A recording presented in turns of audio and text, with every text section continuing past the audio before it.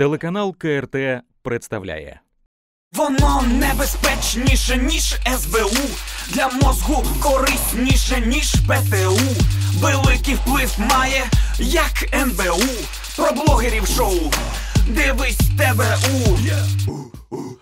Вітаю вас, дорогі друзі! З вами програма ТБУ та блогери України і я її ведучий Тарік Назалешко. Е, Ви пам'ятаєте, що в нашій програмі ми притримуємося основ, основного положення. Тобто до нас, якщо приходять е, дівчата, то вони обов'язково мають бути привабливими і дуже розумними. Сьогодні у нас е, все по сценарію, як то кажуть, і вітаю на студії Вікторію Шилову, блогера і е, голову руху Антивойна. Здравствуйте всем, здравствуй. А Розкажіть, будь ласка, про ваш рух. Чим ви займаєтесь? Може, якісь акції ви проводили? Ну, я думаю, те, кто э, вообще любят мир и хотят, чтобы мир на Украину вернулся, или в Украину, как кому больше нравится. Я говорю, как Тарас Григорьевич Шевченко, на «Вкраине мыли». Ну, то есть мне больше нравится «на». Він саме толерантний був. Э, он просто мой, моя икона, скажем так, да, как для Украины и для меня.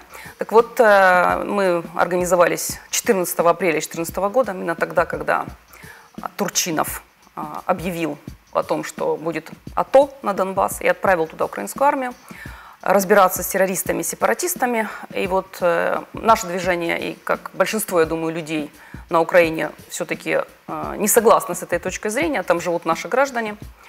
А, И если бы там были а, террористы-сепаратисты реальные, то должно было бы действовать СБУ, Альфа, ну и так далее и тому подобное. Мы этого, к сожалению или к счастью, я не знаю даже, как сейчас сказать, чтобы была кровь, там, распад страны, чтобы мы вообще имели, э, пойди по сценарию вообще огромной войны на Украине, да. То есть, э, но мы выступили против э, этого, этой акции АТО. Мы посчитали, что нужно решать только за столом переговоров эти все вопросы. Собственно, мы оказались правы, потом были подписаны Минские договоренности, и мы начали свою борьбу за мир. И а, с 2014 года организация наша официальная, ее можно проверить в перечне общественных организаций. А, Мы, наша деятельность по всей Украине, а также международная деятельность. Э, Я была в Италии, я была в Сербии, я была в Норвегии, в Чехии. Мы общались там и с э, политиками, и с общественными лидерами. Вот э, в 2015-2016 году мы издали книгу в Италии, которая называется «Под бомбами. Дневники детей Донбасса». Можно загуглить, эта книга доступна сейчас, ее можно скачать с сайтов посмотреть. Э, Там в детских рисунках показана война на Донбассе. Ну, вы помните, Петр Первый, да? Вот Петр Второй, да, у нас Петр Первый, а там, да, Порошенко э, рассказывал о том, что э, их дети будут сидеть в подвале, так и только так мы выиграем эту войну, да? Вы помните это? Так вот, На жаль, э, да, так вот, э, то есть это немыслимо, чтобы президент в какой-то стране, который любит всех а, своих сограждан, независимо от языка, э, места проживания, религии, да, и вообще происхождения, чтобы так сказал, тем более про детей. Это меня вообще в шок такой повергло, и мы вот до сих пор продолжаем эту борьбу, и очень надеемся, что все-таки новый президент, который, собственно, пришел и получил свои 73% из-за по большому счету, единственного да, своего заявления – это мир на Донбассе, что он все-таки выполнит его и выполнит э, Минские договоренности, которые, собственно, это единственный сейчас признанный в мире да, и подписанный всеми, в том числе и Порошенко в формате нормандском, а то они говорят, что они не подписывали, подписывали, да, и потом внедренный в Минске формат. Поэтому, э, если же этого не будет, то э, боюсь, что наше движение «Антивойна» еще долго будет заниматься миром на Украине. Очень бы хотелось, чтобы Зеленский все-таки прекратил эту войну, э, выполнил Минские договоренности, чтобы мы э, проголосовали э, совместно с Донбассом и выборы да, местные. И для этого они должны выполнить эти 12 пунктов, из которых практически только обмен пленными, в котором мы тоже принимали активное участие, движение «Антивойна». а, Порядка пяти лет занимается обменом пленных, и списки, которые а, в даже в сети вы можете посмотреть, там везде написано, что при активном участии Виктории Шиловой движение «Антивойна». Это гуманитарная деятельность. И э, ну, как бы я горжусь, что наше движение сыграло определенную роль в, хотя бы в попытках установить мир на Украине и в освобождении пленных, а также в помощи детям Донбасса. Дійсно будемо сподіватися, що ми е, м, не тільки будемо прагнути миру, але й ми дочекаємось того часу, коли мир настане в нашій країні. Але хотілося б запитати наступне. Ви з Дніпро- Дніпропетровщини до нас приїхали зараз. Я подивився дуже сумну статистику смертності в Україні. І е, для мене трошечки ця інформація була ш- шокувала мене, скажімо так. Дніп- е, Дніпропетровщина це перший, перша область е, в Україні е, За по смертностью. смертності. Да, действительно, вы абсолютно Не, правы. не Донецьк, не Луганська область, де відбуваються бойові дії. В Луганске сейчас идет прирост населения. Именно в Луганске идет прирост населения. Это можно посмотреть по а, рожденным и умершим. И вы знаете, что Украина признает а, документы ЛНР или ДНР по смертности и по рождаемости. То есть все-таки вынуждена, да. Ну, а теперь еще и решение по а, связанные с пенсией.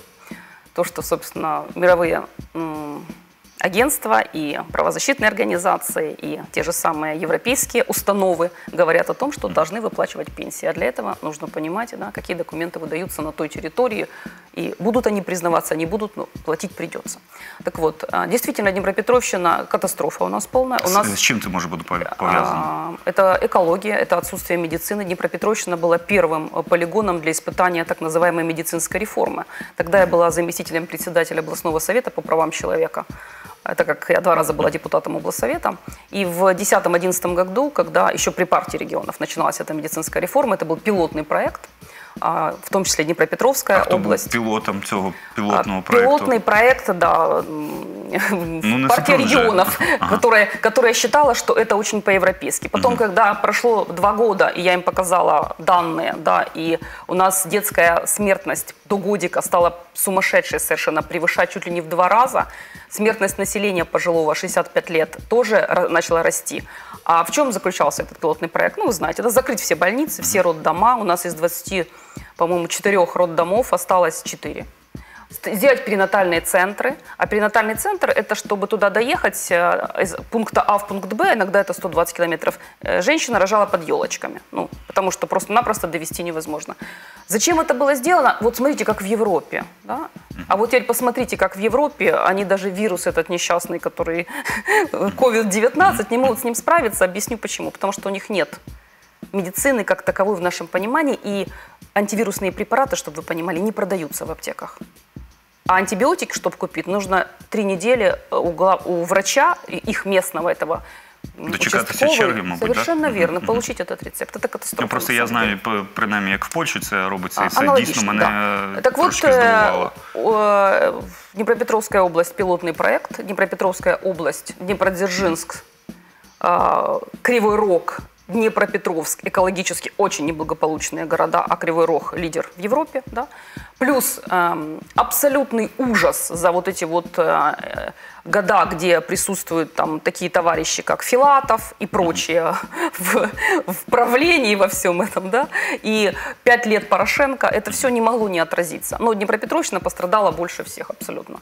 И вот потому что там был пилотный проект этот введен еще в 2010-2011 году, чего еще на Украине не было, и из-за своей экологии, а также из-за определенной неспособности к управлению вот этой вот элиты, которая пришла с Майдана.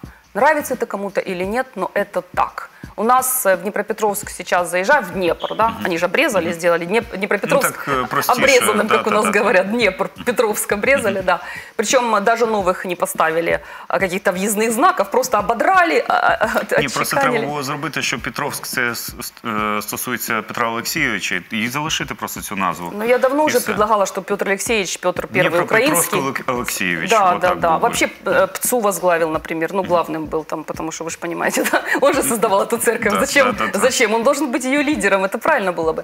Но вернемся к В, в одній Днепропетровску. руці булава, в другій хрест Да. і, і мова, И мова, и вера, і віра, и і армия. надія да, на те, що и він армия, буде правити которая завжди. за него тоже отказалась голосовать. Ну да, такое тоже бывает. Поэтому, видать, э, прекрасно просто понимают, да, кто как хорошо зарабатывали, куда делись, как сказал Джулиани, 7,5 миллиардов да, долларов за время правления Петра Алексеевича. Петр I украинский. Так вот, э, Днепропетровщина на одного рожденного две смерти. Это реально катастрофа, и у нас, э, ну, Днепропетровск пишется городом-миллионником, а я могу сказать, что это не так. Они там присоединяют какие-то там райончики к Днепропетровску, да, но на самом деле, вот еще три года назад там было 980 тысяч, сейчас пишут там миллион ноль ноль там 70, ну, ну вот я в это не верю на самом деле, потому что э, мы в лидеры по вымиранию на, в Европе, мы лидеры по нищете в Европе, и мы в тройке а, лидеров в мире по вымиранию, рядом с Чадом, Лесотто, там, ну, у нас еще есть одна такая страна, Литва, тоже веселая очень. Да, там еще выезд населения, потому что тоже в Европа, тоже европейцы, да. Теж молодці. И вони. тоже молодцы, да, там осталось все, кому за 55 плюс, и они удивляются, а почему сейчас э, э, все больше и больше людей голосуют, что вообще от Европы отойти куда-то подальше. Ну, потому что пожилые люди, они, ну, опыт у них, да, сын ошибок трудных и гений парадокса вдруг. А вот э, молодежь, которая выезжает в Европу, она просто там остается, и, собственно, она становится аполитичной ко всему. То же самое, что сейчас делается на Украине, да, то есть вымывается все молодое поколение, а кто будет потом все это строить? А, а некому, Це правильно? велике питання, да. А Хотілося б нам- на- повернутися до медичної теми. Е, У нас минулий тиждень він такий дуже гучний був. Тобто наші люди повернулися з, е, з Китаю і їх так зустріли. Із скажімо Уханя, так. да, непосредственно. Дуже цікаво їх зустріли. Зараз е, до нас наближаються люди, вже наблизились, і вже навіть і прилеті... е, частина з них е, вже у Києві е, з Італії.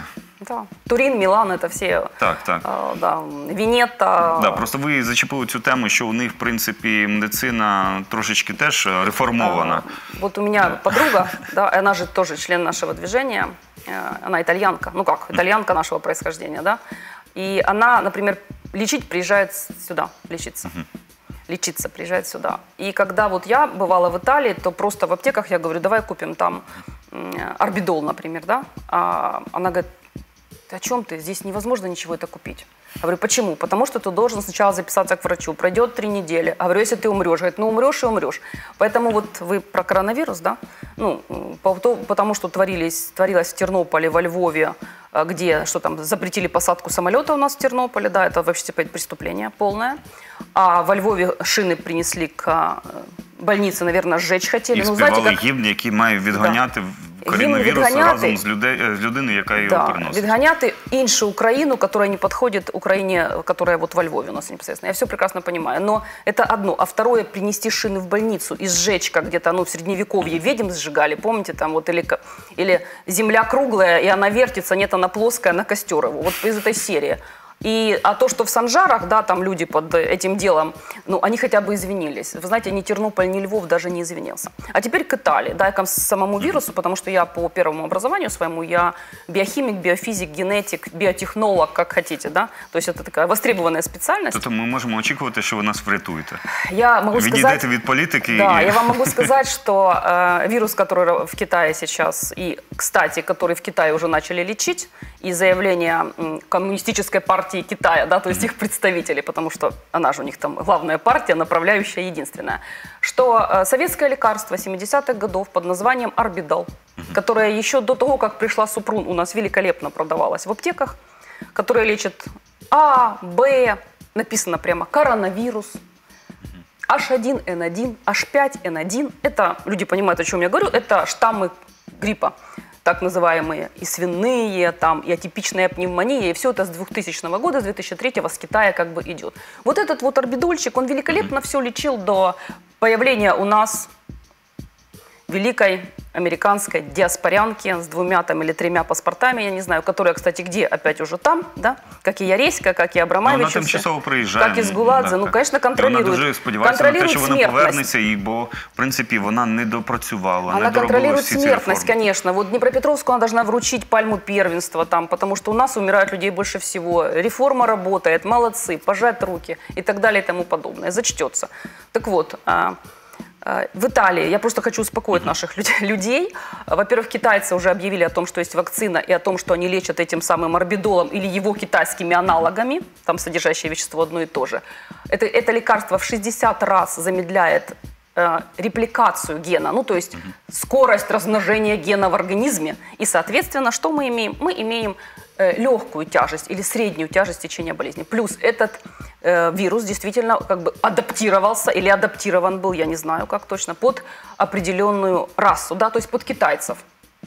Или под желтую расу, как вам больше нравится э, по э, классификации мировой. Э, Поэтому европейцы его переживают или легко, или средне. Но есть одно но. Любой ОРВИ, любой грипп особо опасен для людей с хроническими заболеваниями и с, ну, с возрастом, с пожилым возрастом. Поэтому что мы имеем в Италии? У нас все люди 78-86 лет. То есть э, не зафиксировано в мире ни одного случая до 15 лет, чтобы дети вообще заражались, даже китайские детки не заражались. Э, Вообще нет. А смертность э, населения, которым средний возраст, это до 65 лет, составляет 0,9%. Ну, чтобы вы поняли, это меньше, чем обычный грипп. От я Общ- хотів, хотів якраз звернути Общая увагу. статистика ну, 3%. То есть сейчас вот в мире умерло 3% от тех, кто заразился. Причем Китай уже заявил, что все найдено, лечит аналогами так называемого, да, советского вот этого еще разработки в виде нынешнего орбидола. Это, это не реклама, это составляющее вещество, которое, да, чтобы просто знали, это китайское заявление китайских э, руководителей. Плюс они уже сняли э, уровни э, опасности, так называемые, да, уровень опасности. С первого понизили, вернее, с четвертого понизили на второй где-то, на, на третий, то есть они уже снижают это. Пик прошел. Э, Ну, ми- Всемирная организация здравоохранения сказала, что пик прошел 2-3 февраля. И сейчас мы имеем хвост на европейских территориях, где люди болеют.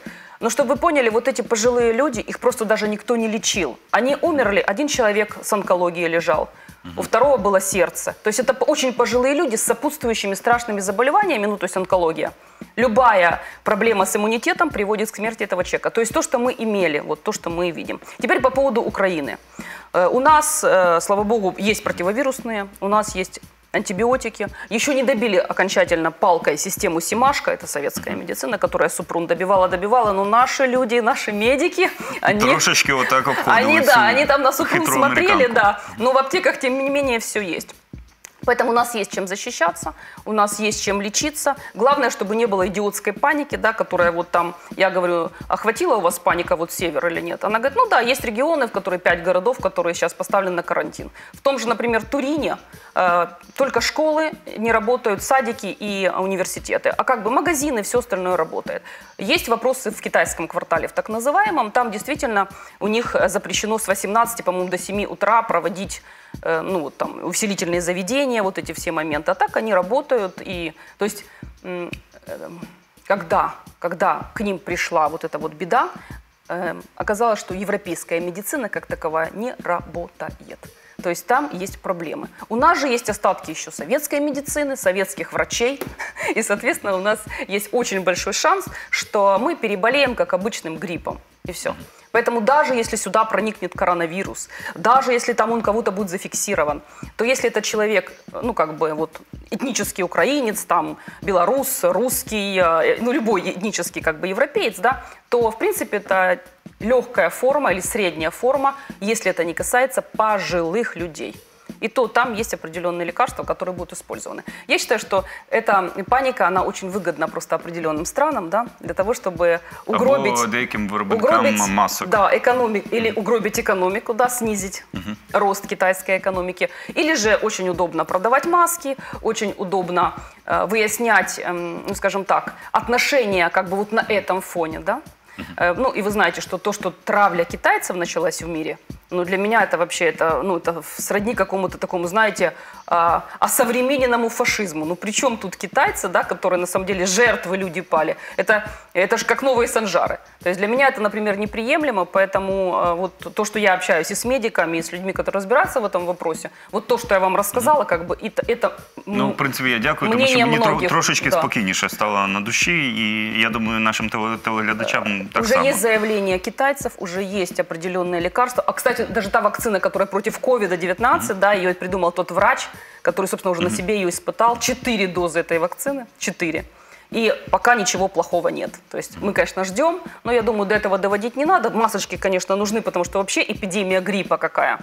И он гуляет сейчас в самых разных вариантах. Кстати, в Днепропетровске было до 17 числа э, объявлено как бы, ну, вот, карантин по школам. Это немножко снизило, то есть именно вот этот вот напряг с детьми связанный. Потому что Ну, понятно, наше будущее – это дети, мы должны защищать. Добре, давайте перейдемо тоді до іншої теми, теж про майбутнє, але про майбутнє Петра Олексійовича Порошенка. Е, 28 лютого він е, вже навіть, скажімо так, якщо він не прийде, то його примус- примусово приведуть е, у- у ДБР. Це одна справа. Потім ми знаємо, що підозру вручили пані Чорновол за те, що вона перешкоджала журналістам. Блогерів, так, да. так. І Софійка Федина, теж у неї деякі питання виникли після того, як вона. Ну, деякі люди кажуть, що воно погрожувало президентові, там деякі кажуть, що ні, що вона його просто попереджала. Ну, до чого я це веду? У нас е, до того, щоб прийшла весна, залишилося 4 дні. Може, от саме цю весну чекав пан Зеленський, коли казав, що весною будемо саджати. Бо він т- тоді не уточнював, це весна 19-го року, 20-го року. У нас несколько ж было посадок там, да, и Пашинский там где-то Ну, подсиживал. вони такі, ну давайте потом же все скажімо так, вышли, вони, вы же вони видите. посиділи, відпочили трошечки і Да, повернулися да, обратно волна до сход- праці. Э, Вы знаете, я м, делаю вывод по фактам. И когда э, Зеленский шел в президенты, это был как бы один Зеленский, да, но когда к нему зашли слуги народа, то м, у меня когнитивный диссонанс возник, потому что президент обещал там мир, референдумы, вы помните, изменение закона о тотальной украинизации, мовного закона, образования. А потом пришел раз, и вот смотрю, вроде как Петр Алексеевич трохи помолодел, да, даже та же цветовая гамма осталась, вот как-то Ну, так. Форма більш така И англи- спортивна. Да, и английский тоже, да, вот как бы думаю, ну, что, что такое. Да, а потом по- понятно, да, по Гончаруку, что команда, как их называют? Сорос- Молодости нашей, Соросята, да. команда молодости Сороса зашла, так его там люди, да, везде. И этот на велосипеде, этот, да, им без разницы, что они делают, лишь бы все разбомбить, разломать экономику, вычистить, да, там, освободить нас от, нас- Але от наследия советского. сучасно, модно і креативно. І креативно. И, так, чтобы, и чтобы все лайкали, и чтобы было это прикольно, и чтобы вообще э, люди сказали, да делайте вы там что хотите, мы отдельно от вас живем, и лучше мы уедем где-нибудь там Польшу поднимать на клубничке, там рачком стоять, но зато хоть какие-то деньги заплатят, чем вот здесь вот, да. То есть задача их какая? Уничтожение любой промышленности, любой энергонезависимости Украины, любой независимости, превращение нас в замечательный аграрный клондайк.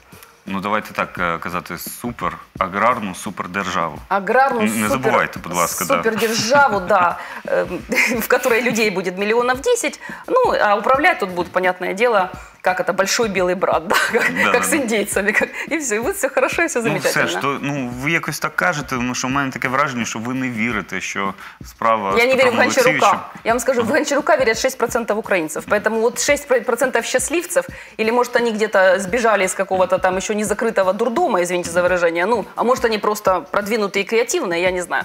Но это 6%. А я отношусь к 94, которые вот, знаете, а, реалисты или пессимисты. Слухайте, ну все ж е, дивіться, зміни такі в е, адміністрації президента, в офісі президента відбулися. А може воно поступово, поступово так дойде і до Гончарука, може й до пана Рябошапки, якийсь. Поступово у нас будет где-то 2040 год, Ну 2045. так нормально, нормально. Що там, з- от дивіться, 6 років отак пройшло, отак, хоп, Раз, і и все. всё. а перед этим еще 28. Я понимаю так, вас, да, да, да, да. да. И, в И принципе, уже там те, кто, кому было Скільки 20, там уже того лишилося 48. до 2040 року? Сколько там той зимы? Я, я понимаю. Причем сколько там э, вот этой Украины, да, сколько она будет существовать при такой власти? Так я же хочу, чтобы она вечно существовала. Поэтому эти власти несопоставимы с процветающей Украиной.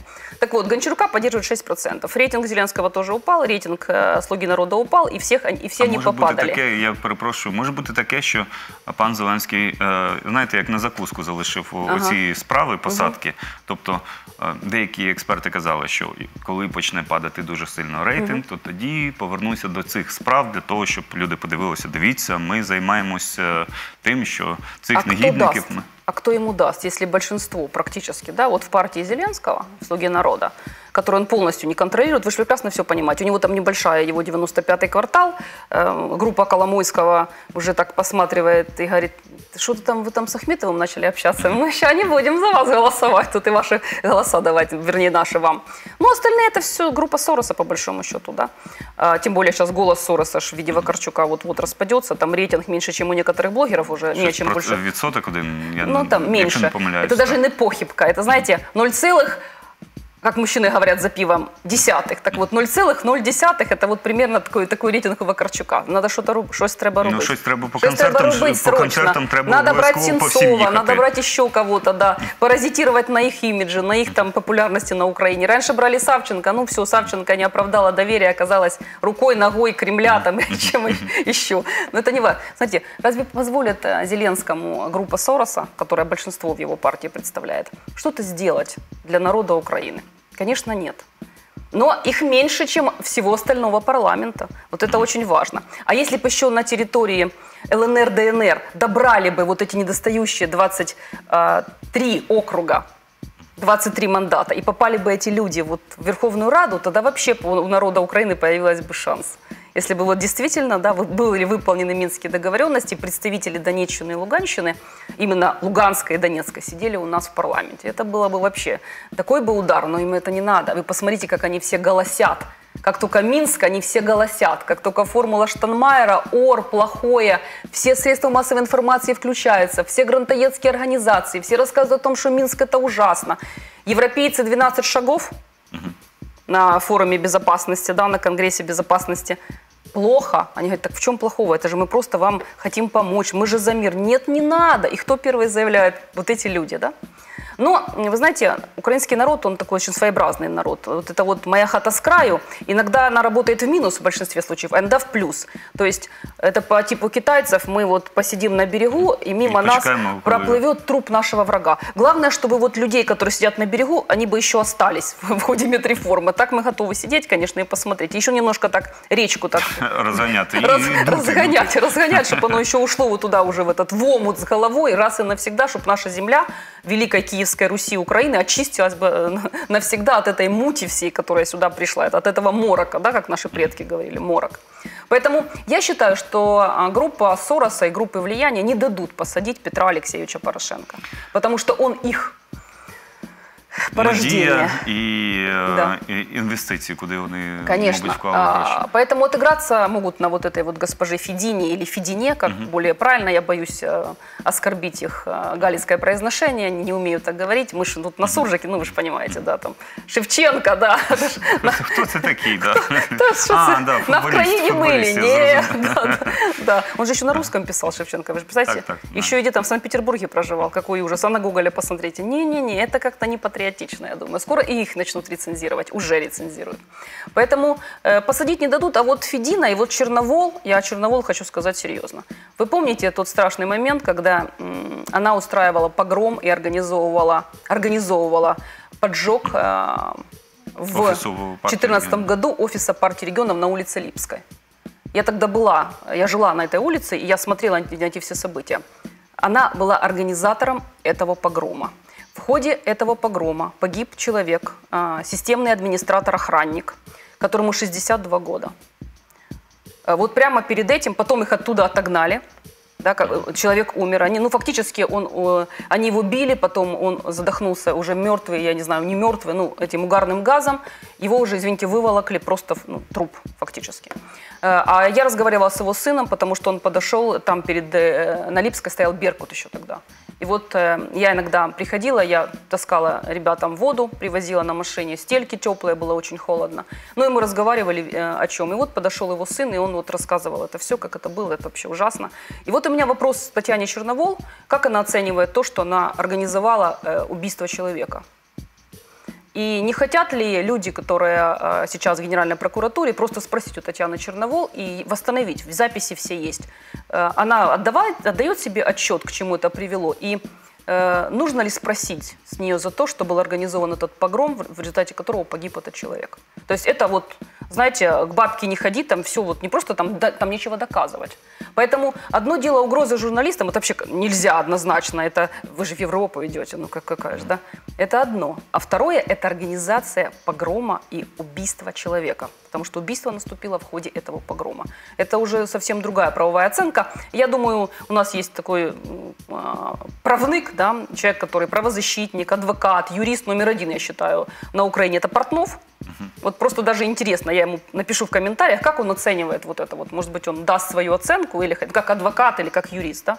И, конечно же, вот это вопрос серьезный. По поводу Федины и угроз президента, я именно, я лично, расцениваю как угрозы убийством, как угрозы убить президента. Нравится мне Зеленский, не нравится. Нравится мне Порошенко, не нравится. Но призывать или говорить так, что однозначно это воспринимается как убийство э, президента страны, ну, извините, так до чего мы дойдем? Сначала ты призываешь, да, потом ты устраиваешь погром, организа- организовываешь этот погром, потом идет убийство. Ну, так ты что же, как бы, ну, подумаешь, ну, Ну, дійсно, все призывала. це так і починається. Да. Вони потроху, потроху так Это же, знаете, окна дзьобують і Авертона, перевіряють, можна да, це зробити. Открывается, открывается, открывается, открывается. Помните недавно «Слуга народа», да? Женщина, которая подписала, я так понимаю, ей дали методичку Сороса, она ее подписала в виде законопроекта.